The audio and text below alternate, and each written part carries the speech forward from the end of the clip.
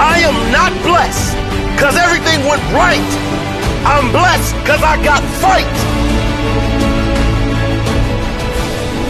When challenges come up, I don't say, why me? When tough times arrive, I never think, why did this happen to me? I say, how can I use this?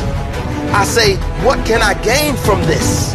How can I ensure that I improve my life so this doesn't happen again?